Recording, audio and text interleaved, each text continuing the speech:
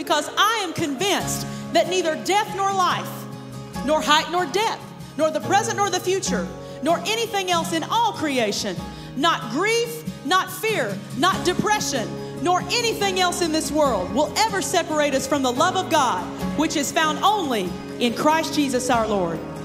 In Christ alone, my hope is found. He is my light, my strength, my song. This cornerstone, this solid ground, firm through the fiercest drought and storm.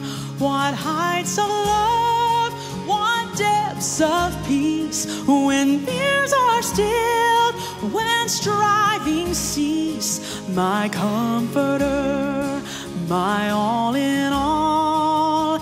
Here in the love of Christ I stand.